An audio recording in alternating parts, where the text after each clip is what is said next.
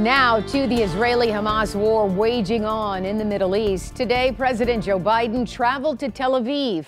The president met with Israeli Prime Minister Benjamin Netanyahu, pledging full support for Israel and announcing $100 million in humanitarian aid for Gaza.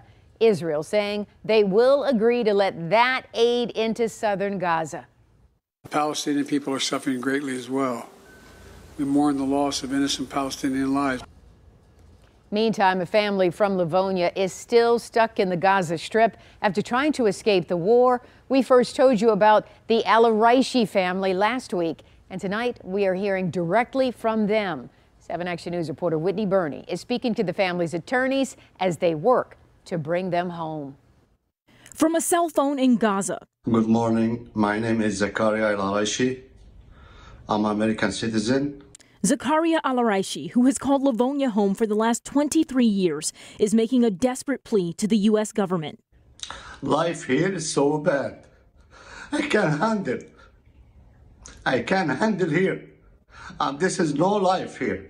I, I can't sleep. I bomb everywhere. I can't sleep. Every minute I count, I gotta be dying next minute. For the last 12 days, Alarayshi and his family have been stuck in Gaza after going to visit family just days before the Israel Hamas war broke out.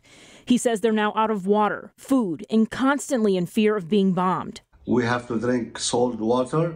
Um, I'm not, I don't take shower like now. 12 days, no shower, no shave, no nothing.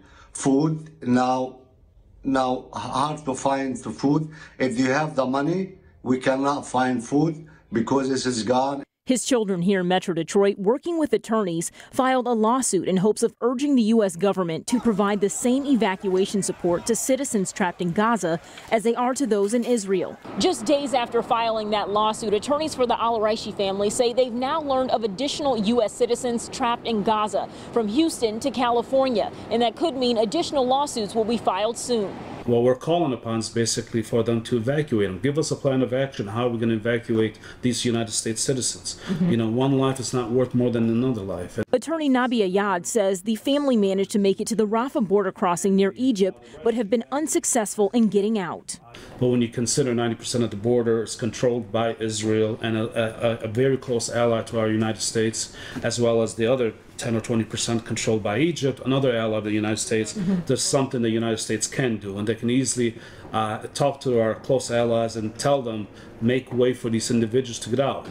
Tomorrow, attorneys for the Alarayshi family will be back in federal court again working to get that concrete plan of action from the Biden administration. Reporting here in Detroit, Whitney Burney, 7 Action News. Certainly hope they will be able to come home safely. Thank you, Whitney.